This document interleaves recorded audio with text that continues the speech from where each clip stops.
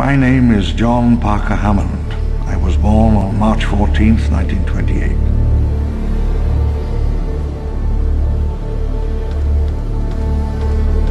My work, my work lies where I left it.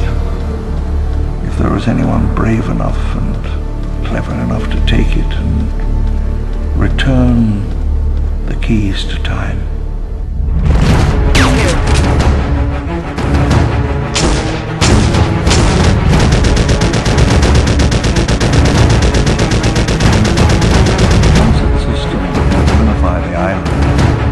concrete towers room.